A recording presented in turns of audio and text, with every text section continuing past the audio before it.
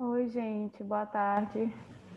Vamos aqui para mais uma aula de microbiologia e parasitologia.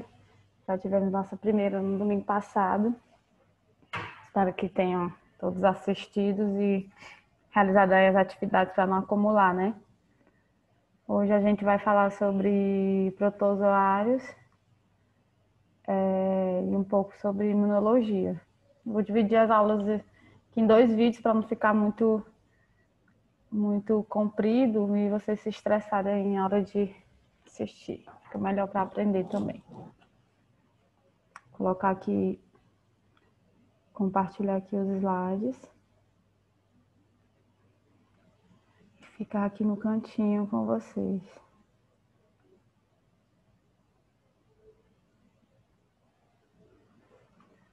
Bom, a gente vai começar aqui pelo pelo reino protista, é, dentro desse reino protista a gente pode encontrar as algas e os protozoários. Eu não vou me aprofundar muito nas algas, nas algas, porque ela não apresenta para a gente assim um contexto importante na área médica, que é o que a gente precisa mais aprender aqui na nossa disciplina. Então, vou focar mais nos protozoários e nos demais. Bom, protozoários têm como características gerais é, são seres unicelulares, eles podem ser coloniais, são eucariontes, né? São células que apresentam um núcleo envolto aí pela uma, uma é, um envolto nuclear, né? Uma, uma proteção.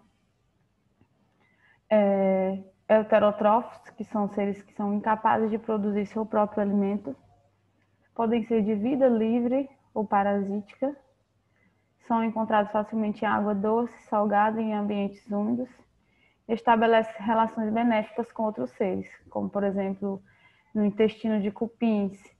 Eles estão presentes lá no intestino de cupins, onde eles vêm a, a digerir é, a celulose e conseguir aí, transformar em glicose.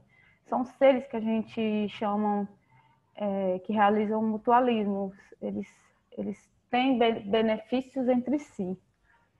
E eles podem estar divididos em quatro classes, que é de acordo com a sua estrutura e locomoção.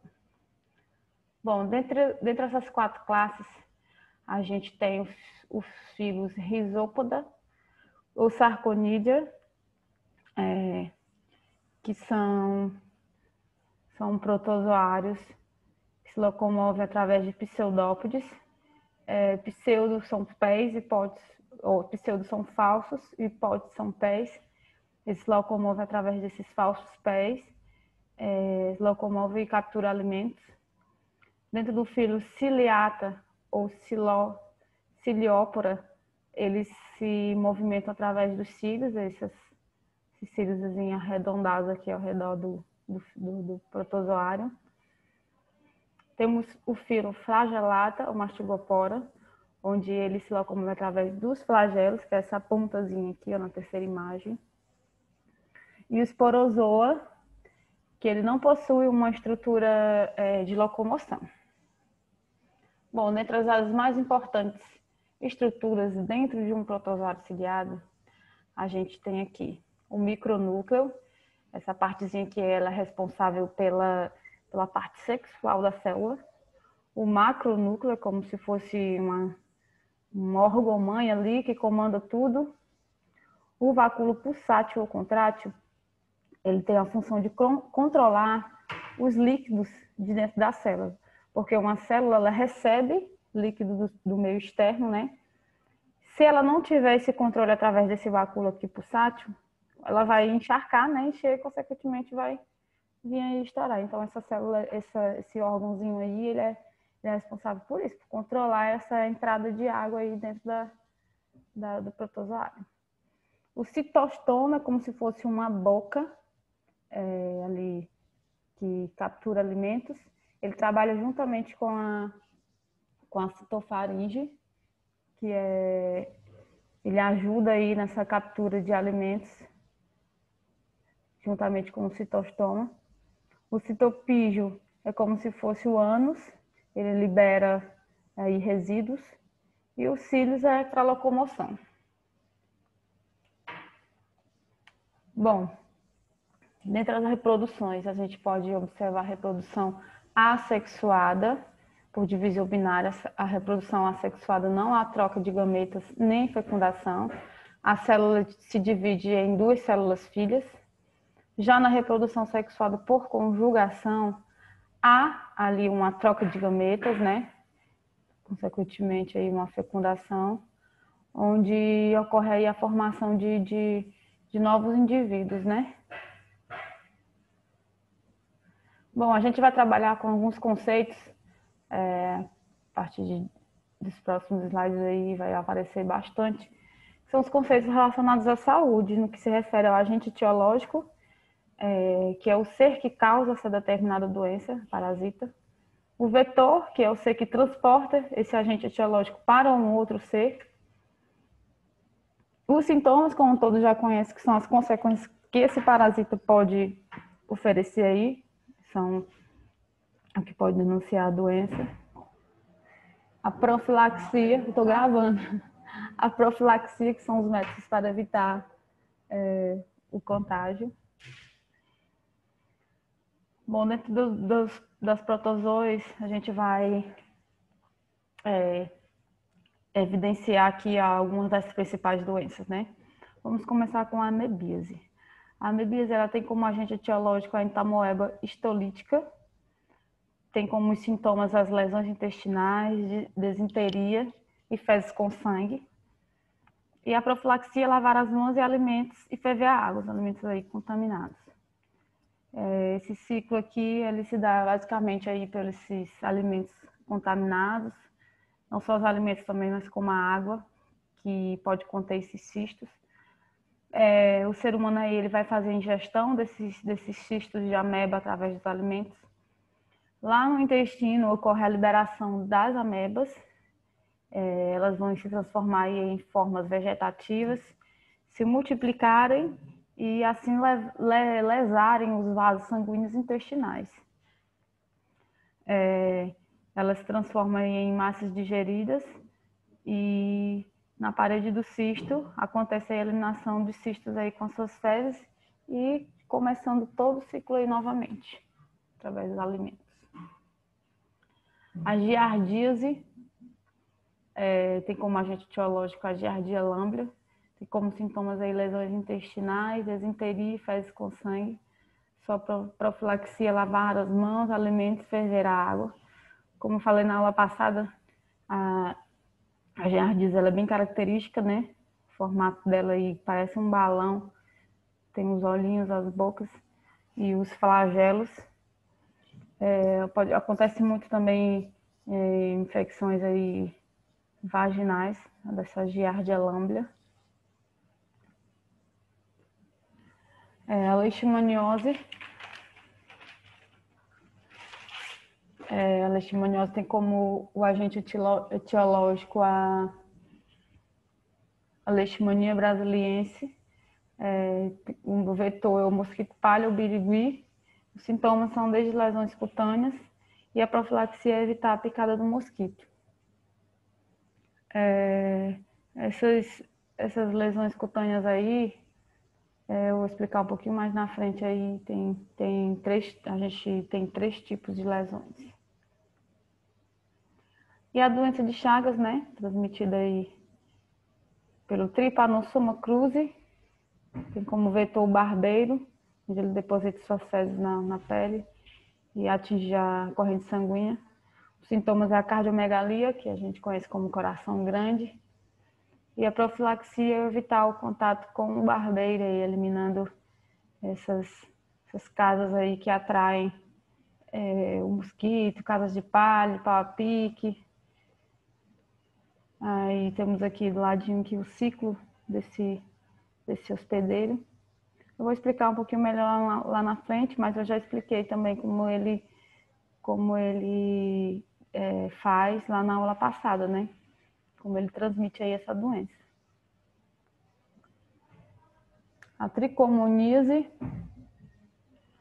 é uma doença que ataca o, o sistema vaginal, pelo agente etiológico tricomonas vaginalis. como sintomas escorrimento esverdeado, com mau cheiro do órgão genital. Esse mau cheiro é bem característico como cheiro de peixe podre mesmo. A profilaxia não usar roupas, é, ou, ou roupas apertadas, ou fazer sexo com pessoas contaminadas. Bom, a malária. Malária é uma doença infecciosa aguda, né? Como a gente falou também na aula passada, transmitida pelo agente etiológico Plasmodium, o vetor Anápolis, Anápolis ou o mosquito prego. Os sintomas aí desde a febre alta, calafrio e o mal-estar. E a profilaxia é evitar a picada do mosquito. Bom, como a gente vê aqui no ciclo, esses esporozoídes eles, eles invadem a glândula salivar do mosquito. É, consequentemente, eles invadem o fígado humano, o mosquito pica o humano e esses esporozoídes invadem o fígado humano, se transformando em merozoítos que invadem as hemácias na corrente sanguínea, fazendo assim a sua diferenciação nas hemácias. Ocorre a troca ali de gametas, onde o mosquito ingere essas hemácias com os gametócitos. Daí ocorre a, a troca de gametas, como eu falei, a fecundação.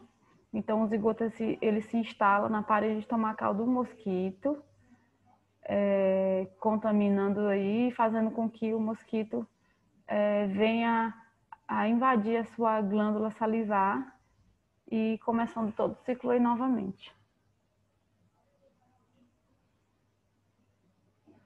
Bom, cada parasita ele possui um ciclo de vida é, de acordo com a doença. Nas doenças amebíase, giardíase e tricomoníase, ele tem como hospedeiro, hospedeiro definitivo o ser humano. Alguns deles possuem dois tipos de hospedeiros com reproduções diferentes. Na malária, o hospedeiro intermediário, através da reprodução assexuada, ou seja, sem a troca dos gametas, o hospedeiro intermediário é o ser humano e o hospedeiro definitivo é o mosquito anópolis. Na doença de Chagas, o hospedeiro intermediário é o barbeiro triatoma e o definitivo é o ser humano. E na leishmaniose, é, o hospedeiro intermediário é o mosquito palha e o hospedeiro definitivo é o ser humano. Bom, dentro dos dos artrópodos, é, vou evidenciar uns seres parasitas ou vetores aí dentro do, do filoartrópodos. Bom, dentro da ordem Diptera, a gente tem famílias e espécies e um nome comum e a doença que, que caracteriza cada um deles. Dentro da ordem Diptera, temos aí a família é, Simulidae, com nome comum borrachudo, o mosquito borrachudo. Ele transmite aí a oncocercose, que é uma doença parasitária que atinge o tecido subcutâneo, vou falar mais na frente cada uma delas. Ainda dentro da ordem Diptera, temos a espécie Anópolis, que é o pernilongo, transmissor da malária. A espécie Culex, também é um pernilongo, transmissor da filariose linfática e que doença que afeta aí os membros, causando edemas nos membros inferiores. É... O Aedes, né, SSP, que é um pernilongo também causador da febre amarela e da dengue. O Flebotominae, o mosquito palha, causador das leishmanioses. É, as, moscas, as moscas domésticas, é, que é o vetor mecânico aí de vários vírus e bactérias. A Dermatopiomenes, que é a mosca de Berne, causando miíases. E a Cochilomia hominavorax, que é o conhecido mosca varejeira, né? Também transmissor aí de miíase, que é a infecção aí, infestação de, da pele, onde eles se alimentam de, de tecidos é, subcutâneos. Dentro da ordem hemíptera temos o Triotominae, que é o barbeiro causador da doença de Chagas, o Simex, o percevejo de cama, ele só vem causar reações alérgicas mesmo. E dentro da ordem Sino, Ciponaptera, temos aí a espécie Tunga penetras, que é a pulga de areia, causadora do bicho, o bicho de pé. É, a Pulex irritans, que é a pulga do homem, causando basicamente são alergias. E a pulga e a Xenopsila SPP, que também é conhecida como pulga do homem, causando aí a peste. Dentro da ordem Anophlora, temos a espécie Pediculus captis, que é o famoso piolho de cabeça, causando aí dermatoses, que é a pediculose aí conhecida. O P humano, seu piolho do corpo, é, causando dermatose, tifo ou exatemático. O Piturus pubis, que é o piolho ou chato, conhecido como chato também, causando dermatose. É um piolho mais aí de outras áreas do corpo, como áreas genitais, axilas. É, na ordem ácare, temos as várias, que são os carrapatos, causando aí dermatites, alergias e vários vírus. Sarcópedes scabiei, que é o ácaro da sarna, causando escabiose ou sarna. E ainda nome comum de ácaros, é, causando alergias respiratórias. Bom, características gerais aí dos filoartrópodos. É, esse filo, eles caracterizam por animais aí de, de patas bem articuladas, né?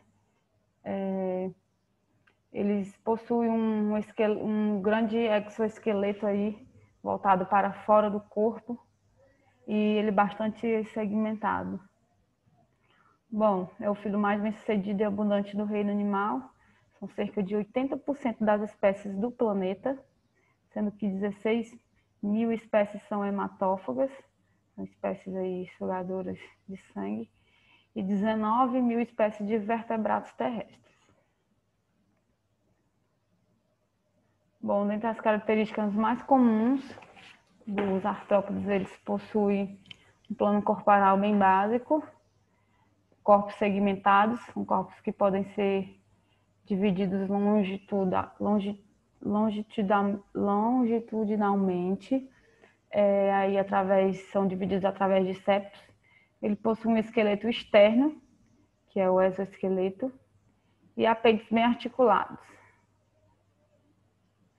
E a simetria dele é, é bilateral. Essa simetria bilateral é aquela simetria que permite dividir o animal em duas partes iguais.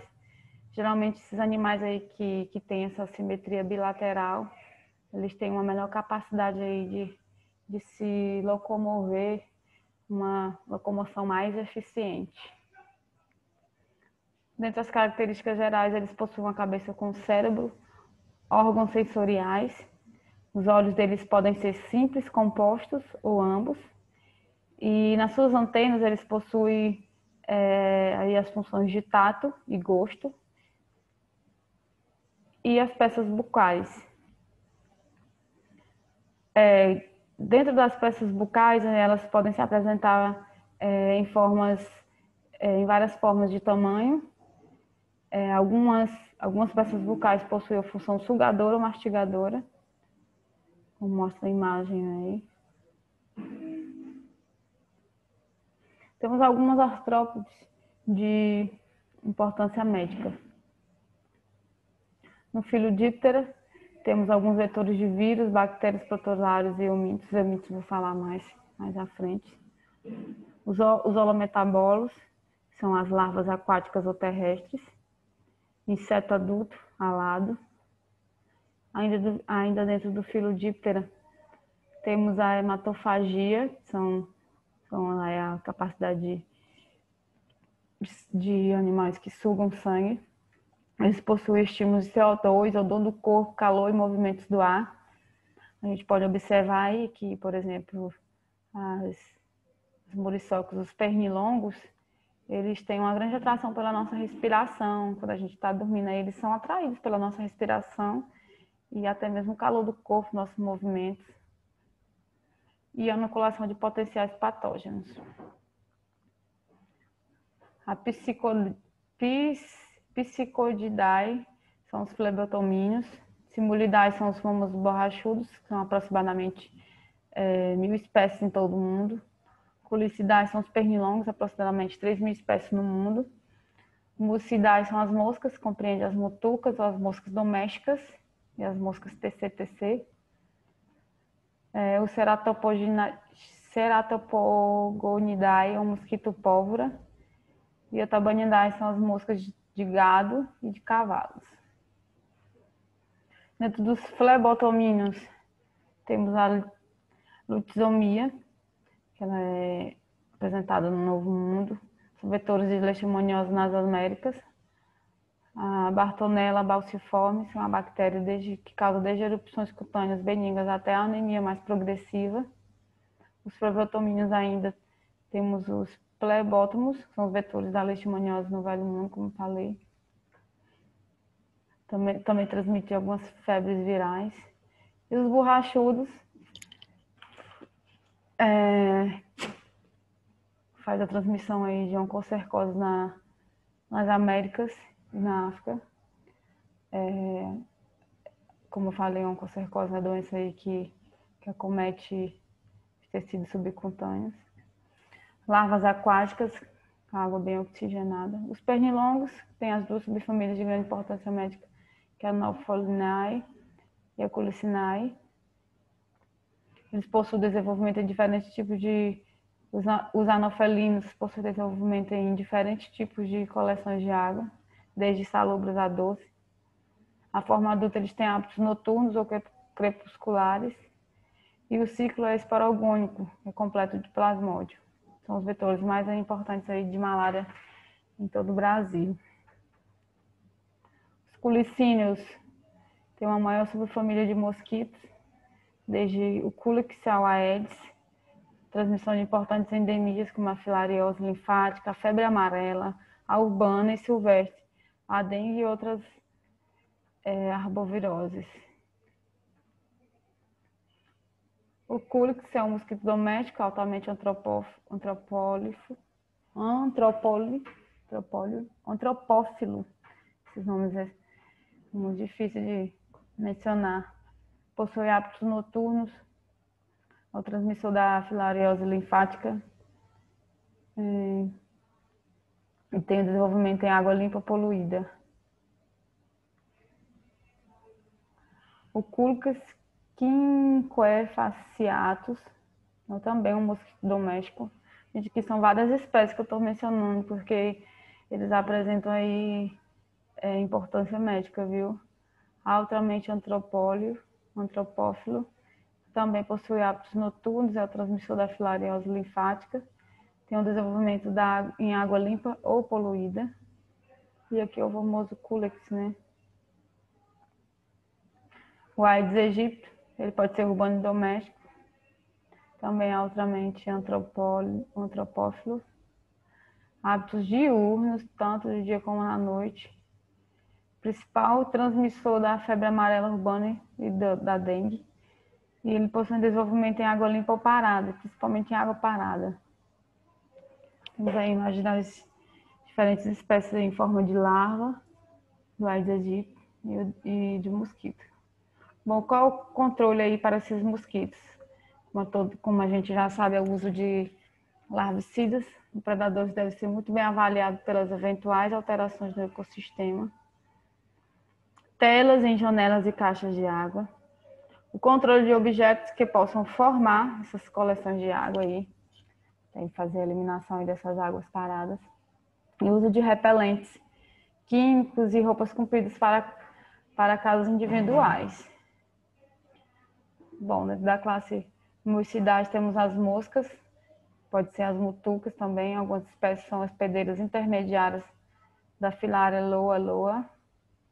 A mosca doméstica, como falei no lá no quadro, é, no primeiro imagem, é o vetor mecânico de bactérias e vírus. E a mosca de Berne varejeiras aí transmissoras de, de miíases. As miíases são afecções produzidas pela presença de larvas de moscas em tecidos de animais vertebrados. Essas larvas, elas são biontófagas, que são capazes de invadir os tecidos sadios, e as necrobiontófagas, elas são invasoras de lesões pré-existentes, ou seja, ela, ela invade tanto um, um tecido subcutâneo é, já lesionado ali com algum ferimento, como em tecidos também sadios, mas eles, eles têm uma grande facilidade aí quando há uma porta de entrada mesmo. As biontófagas é, são responsáveis pe pela dermatopia omnis, que é o berne, ele pode ser a porta de entrada do tétano também. O tratamento é a extração da larva, aí através com a ajuda de um esparadrapo, mas aí da forma que for melhor, com pinça, ou colocando a vaselina aí para que elas possam sair com mais facilidade. As de moscas varejeiras são conhecidas como bicheiras, seu parasitismo dura cerca de uma semana. E algumas MIS, elas possuem não só é, uma ação de doenças, mas também uma ação terapêutica. Como eu falei, as, as larvas necrobiontófagas, elas possuem uma grande tarefa nas úlceras crônicas dos pés diabéticos, êxtase venosa, onde é introduzida aí essas larvas em cima da ferida, ela vem fazer aí a limpeza desse tecido subcutâneo lesionado. Hum, como eu falei, na remoção de tecidos necróticos, secreção de prote... proteases, ingestão de tecido liquefeito. Ele possui uma atividade antimicrobiana é, nas bactérias Staphylococcus aureus e Streptococcus. E um grande grau de cicatrização através do seu movimento. Alantoína, ureia, bicarbonato de amônia são usados aí juntamente nesse processo de cicatrização, juntamente com, com as miíases. Temos as duas imagens aí, ó, é, essa grande evolução nesse processo de cicatrização. Com uma semana, o pé já está bem, bem fechado e com um ano ele já está praticamente sarado. Filoemíptera tem as espécies hematófagas, tem a que são os barbeiros, percevejos de cama, e os hemimetabolos todos os estados de ambos os sexos eles são hematófagos, sugadores. Temos aqui imagens dos triatominos aí mais importantes na transmissão da doença de Chagas. Eles podem se apresentar de várias formas aí, esse barbeiro. Os percevejos, ele se apresenta mais em clima temperado ou tropical, vive em domicílio humano, possuem hábitos noturnos e não são vetores de doenças humanas, apenas provocam um grande desconforto em perda de sono e, em alguns casos, é, reações alérgicas generalizadas. E a medicação é a mesma, o controle, a limpeza e a aplicação de inseticidas. As pulgas, ela é um holometabolos hematófagos na fase adulta, são vetores de peste bubônica.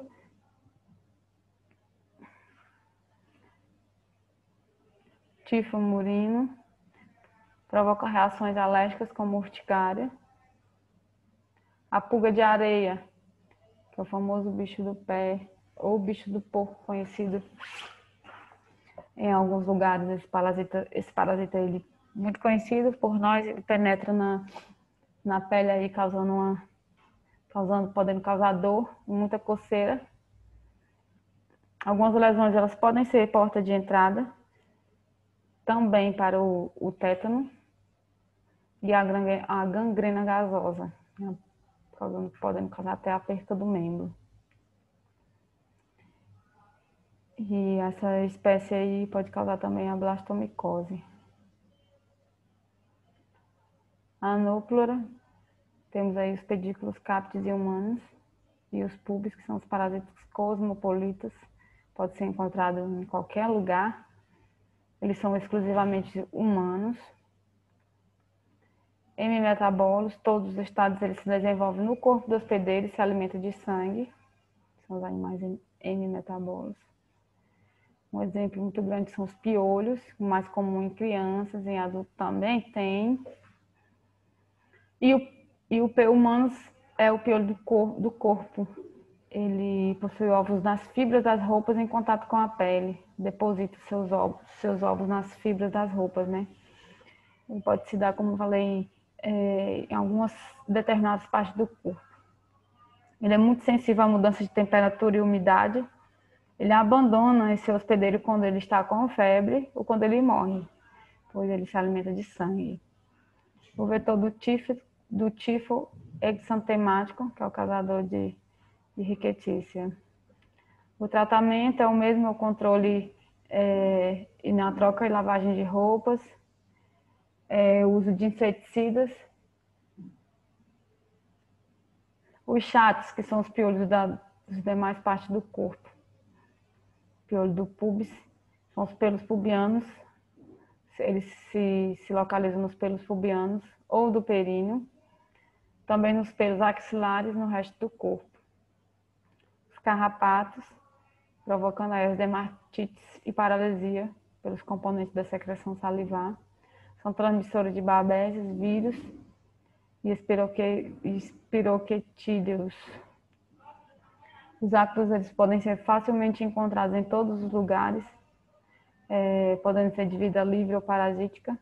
Os de vida livre eles podem se alimentar de detritos, tais como material orgânico em decomposição, ou são predadores. Os parasitas eles se alimentam tanto de animais como plantas, sendo muitos deles transmissores de agentes causadores de doenças. São cerca de 3 mil, 35 mil espécies de ácaros já foram descritas.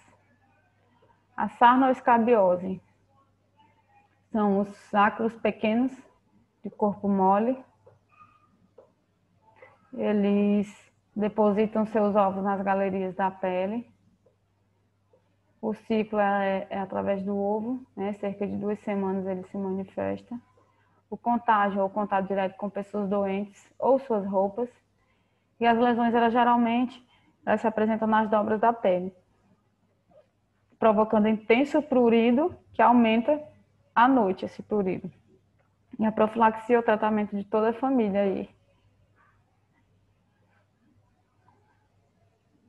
Os ácaros de poeira possuem vida livre na poeira doméstica. Eles gostam de locais quentes e úmidos, provocam alergias em seus corpos, secreções e dejetos. Em algumas pessoas provocam alergias respiratórias ou dermatológicas também. E a profilaxia é a higiene pessoal ambiental, a desumidificação do ambiente e a limpeza de filtros de ar. Esses ácaros aí causam muitas doenças respiratórias, muito incômodo Bom, vamos aqui para o, a parte aqui dos eumintos, que são os famosos vermes. É, os primeiros registros da doença, é, eles são causados por vermes parasitários, né? Esses eumintos. Eles encontram-se no papiro de Eves, cerca de 1500 anos antes de Cristo. Então, um pouco aqui da história em que se reconhece descrições de tendas e lombrigas nestas últimas de incidência ainda bastante comum no nosso Brasil e em outros países do terceiro mundo no final do século XX. Bom, ele é um grande grupo de animais que parasitam homens, sendo pertencente à família ao filo Plateumintes, que compreende os vermes arrachatados. Tem como as características gerais dos eumintos como falei, vermes achatados, dorso ou ventralmente, aqui, ó, a parte aqui do dorso, tipo folha.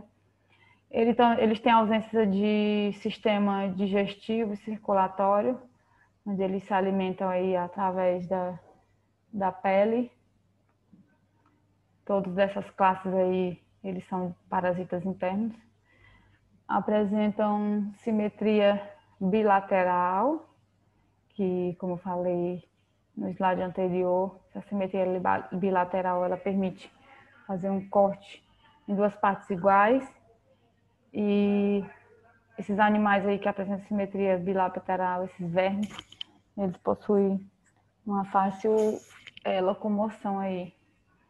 Tem como habitat ambientes muito úmidos e de água doce e o mar também. Eles parasitam alguns animais e apresentam ausência do sistema digestivo. Aqui temos uma imagem aí de um moimento. Eles podem se multiplicar dentro ou fora do corpo do hospedeiro. Isso depende muito do ciclo vital específico de cada parasita. Os que parasitam o intestino do homem, ele quase nunca produzem por si só. E por si só ocorre aí a morte do hospedeiro. Trazem, no entanto, malefícios ao organismo parasitado, muitas vezes aí debilitando aí de forma perigosa. Bom, classificação dos nematóides ou vermes cilíndricos, é, que são os vermes aí achatados. Eles é um grupo muito grande aí na nossa biosfera, chegando aí a cerca de 20 mil espécies. Os cestoides ou vermes, ou vermes chatos são os que se caracterizam com a ausência de sistema digestório. Eles, eles se alimentam através da pele são os parasitas internos. É, os trematódeos são os providos de ventosa, eles sugam sangue esses, com, através das suas ventosas, é, sangue e fluidos sanguíneos.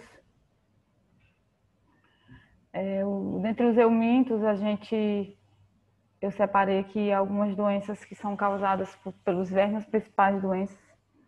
Dentre as mais comuns, os oxiúros, é, os, ascar, ascar, os ascarides, os ancilostomos, os tricocéfalos, as tenhas e a esquistossomose. Bom, os oxiúros. Não ouvi muito falar em oxiúros. Os vermes anais têm nome científico enteróbios vermiculares são parasitos que afetam o homem com muita frequência. Eles são vermes pequenos, medindo é, cerca de até 2 centímetros e brancos. Eles habitam em, em regiões é, em região do seco, apêndice, que é a porção final aí do, do intestino grosso, é, onde a fêmea ali é fecundada Dali ela migra para depositar os ovos embrionados às margens do ânus e nas pregas, pregas perianais. Eles são, por isso, sintomas da oxiúrose, o prurido, que é a coceira insuportável na região anal, e uma tensão nervosa. À noite, aí, essa coceira costuma piorar. Bom, ali no estágio de infecção, é, e no estágio de diagnóstico, que acontece ali a ingestão de ovos com embrião, né, pela pessoa, onde acontece a ingestão e as larvas eclodem lá no intestino, intestino grosso e delgado, se transformam em adultos, num úmido seco. Daí essas prenhas elas migram para a região perianal. Geralmente essa migração acontece à noite, por isso, por isso essa coceira aumenta mais à noite, onde ele vem a depositar ali seus ovos. Os seus ovos, é, lá nas pregas anais, eles levam cerca de 4 a 6 horas aí para, para acontecer a maturação. Ascaridíase, que como nome científico, as ascaridis lumbricoides, é, são conhecidos vulgarmente como lombrigas mesmo, são de, depois dos oxiúros, os vermes que mais frequentemente parasitam o intestino humano. A fêmea pode chegar aos 30 centímetros, enquanto o macho só atinge metade desse tamanho. Os ovos são fertilizados, vindo a se desenvolver facilmente, e são encontrados na poeira doméstica e terra dos jardins. A infecção ela se processa pelas mãos sujas ou por um intermédio de águas, frutas, legumes contaminados aí pela pelas ascaris.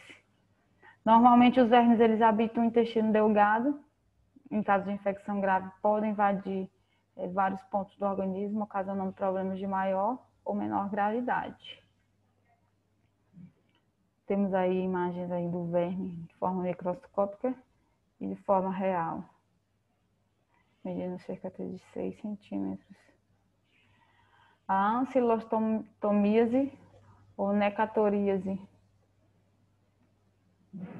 como nome científico, ancilostoma do Odenale, causa uma conhecida como ancilostomíase ou necatoríase, é o nome da doença. É conhecida também como anemia tropical, uncinariose, amarelão, opilação, causa sério problema de, é, causa sério problema de saúde pública, especialmente no interior brasileiro. A transmissão ela ocorre por meio de contato direto com o solo contaminado também, como por exemplo aí andar descalço, é, contato direto com as mãos. Eles são parasitas chupadores de sangue, que a característica é produzir graves sintomas como anemia hipocrônica ou a micocrônica, são anemias aí é, falciforme, ou anemias aí é ferropriva, né? A falta de ferro. Ou anemia microcítica, que é que anemia aí na deficiência aí dos volumes sanguíneos. Aqui um, uma imagem microscópica da ancilostomíase. O tricocéfalo é um verme de incidência comum, bastante comum em crianças. Ele permanece fixado pela extremidade anterior da mucosa do seco apêndice, é, basicamente lá no mesmo lugarzinho é, que ocorre a oxiúrus. Ele pode invadir o intestino grosso. Cada fêmea adulta do tricocéfalo põe cerca de 4 mil ovos por dia, que são eliminados juntamente com as fezes. Ingeridos com água, alimentos contaminados ou levados à boca em pedaços de terra, que é a geofagia, ou pelos dedos contaminados. Os ovos chegam até o duodeno, onde as larvas elas migram para seu habitat definitivo e atingem a maturidade em cerca de três meses.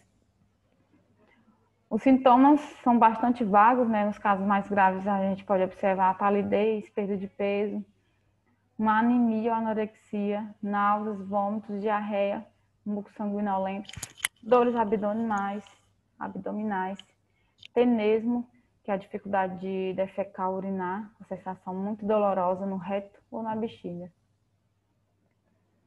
Aqui uma imagem bem característica aí do tricocéfalo. As tenhas, é, temos a tenha, a tenha sólio, que é a do porco, e a saginata, que é a do boi. Essas tênias, elas são vermes de corpo chato e largo, eles vivem principalmente no intestino humano. Existem cerca de 40 espécies, das quais as mais comuns no Brasil são a tênia sólio, transmitida aí pelo porco, e a tênia saginática, transmitida por carnes bovinas.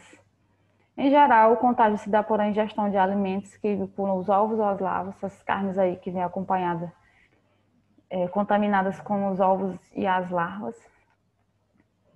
É, os vermes adultos, eles vivem fixados pela extremidade cefálica e a parede do intestino humano.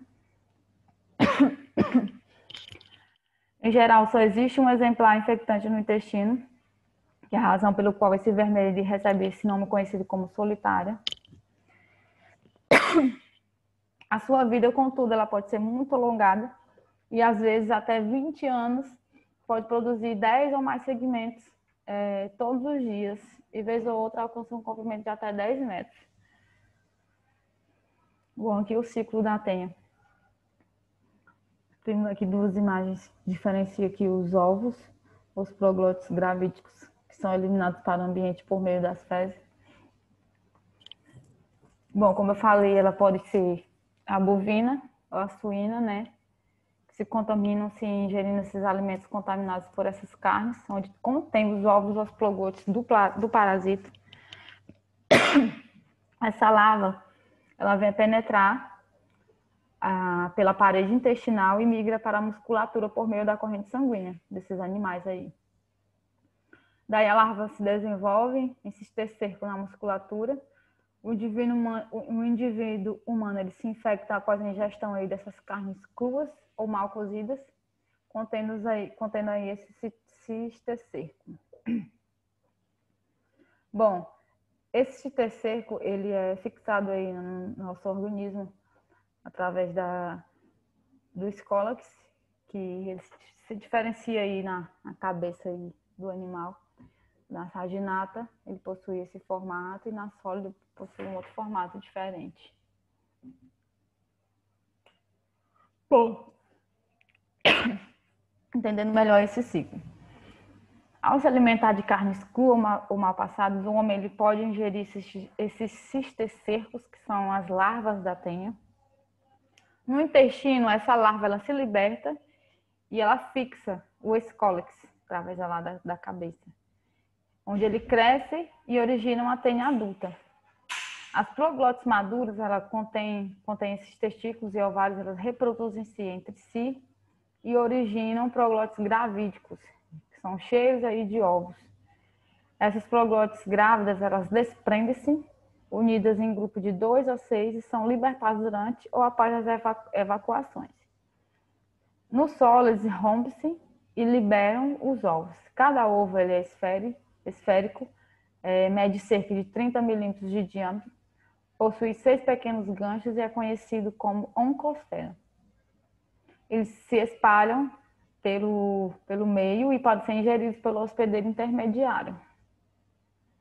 É, no intestino do animal, os ovos eles penetram no revestimento intestinal e cai no sangue, atingindo aí principalmente a musculatura sublingual, diafragma, sistema nervoso e coração. Não especificamente, eles podem atingir outros órgãos aí do corpo. Cada ovo ele se transforma em uma larva e uma tenha em miniatura, que é chamada cistecerco, cujo tamanho lembra de um pequeno grão de canjica. Essa larva ela contém o escólex e um curto pescoço, é tudo envolto aí por uma vesícula protetora. E por autoinfestação, os ovos passam para a corrente sanguínea, desenvolvendo, desenvolvendo-se em estercos, que são as larvas, em tecidos humanos, causando aí uma doença, que é a cistercercose. Pode ser fatal aí essa doença aí, transmitida pelo, pelo verme do, do porco ou do boi.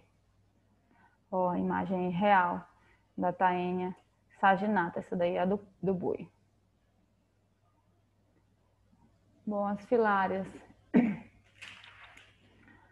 Como nome científico aí, as filariases.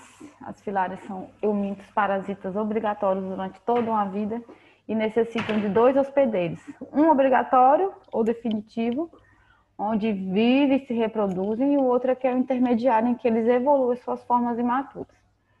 Os vermes adultos, ou macrofilárias, eles vivem no sistema linfático, é, é, cavidade serosa ou tecido conjuntivo do homem. Nosso sistema linfático aí, ele é responsável é, por eliminar nossos, nossos resíduos os embriões ou as microfilárias, segundo a espécie, eles fazem apenas uma curta migração pela pele ou tecido celular subcutâneo do hospedeiro vertebrado, ou chegam à circulação periférica. Sempre estão ao alcance do hospedeiro intermediário, de que necessitam para completar o seu ciclo evolutivo.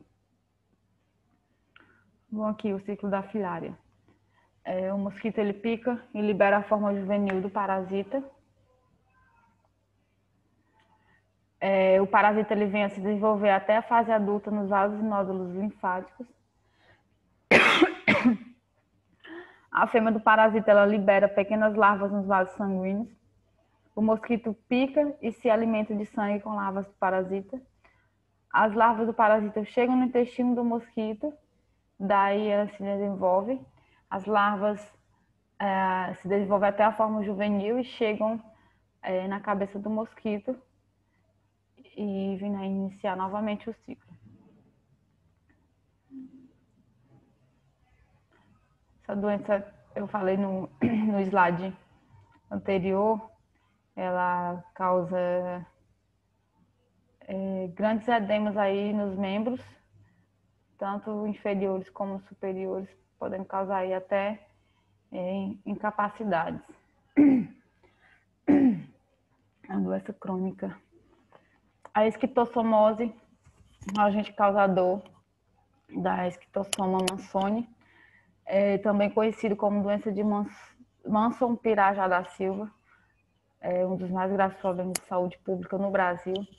Essa eumitose está condicionada à alimentação dos ovos do parasita com as fezes de pacientes infectados e a presença do hospedeiro intermediário. Um caramujo do gênero Biompalária, comumente encontrado em lagoas, represas, canais de irrigação e córregos. Bom, esses caracóis de água doce, eles carregam com si esse verme infeccioso podendo afetar os fígados, a bexiga urinária e outros órgãos do corpo. Esse parasita, ele tem um homem seu hospedeiro definitivo, mas ele necessita que o caramujo, por exemplo, de água doce, é, seja esse hospedeiro aí intermediário para vir desenvolver o seu ciclo evolutivo e vir transmitir aí para o homem. A imagem aí do caramujo e a microscópica. Bom, a barriga d'água, temos aí na imagem é, à direita, do, à sua direita, a, a, a imagem da famosa barriga d'água e da elefantíase aí, como eu falei, que causam edemas nos membros é, inferiores, principalmente nos membros inferiores, causando até incapacidade. A profilaxia é evitar é, banhos em locais onde possam existir hospedeiro intermediário, especialmente no crepúsculo, ao entardecer. Erradicar o caramujo hospedeiro no caso da taenha. Elaborar campanhas de conscientização. É importante a gente saber aí é, onde escolher as carnes, é, em lugares seguros, é, examinar se não tem a presença aí do verme. É, lembrando que ele pode ser resistente a altas temperaturas, né? Elaborar campanhas de conscientização, saneamento básico, destinar adequadamente às fezes. Tratar corretamente os doentes é suficiente para controlar tanto a proliferação como a cronificação da doença e para se evitar contrair a filariose, que é a elefantíase, deve-se combater os insetos, mantendo sempre sua casa e os locais de convívio muito bem limpos e arejados. Lavar bem as frutas e verduras, evitar carnes mal passadas, mal cozidas. Ter esgoto recolhido e tratado. O fornecimento de água potável, lixo corretamente recolhido e destinado a locais próprios para o tratamento. É, gente sabemos aí que são medidas é, que devem fazer parte do nosso dia a dia, não só aí a profilaxia dessas eumintoses, mas como outras doenças, é muito importante essa profilaxia.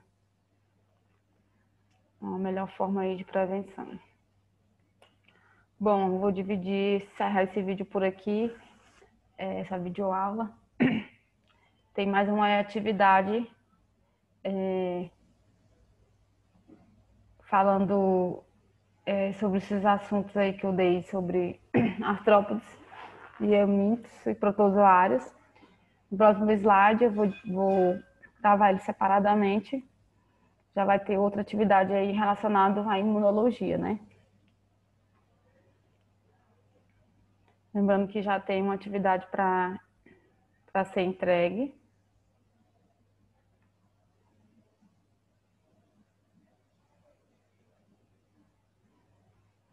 Eu quero que, que vocês entreguem antes de, de, de chegar é, a nova aula do próximo domingo.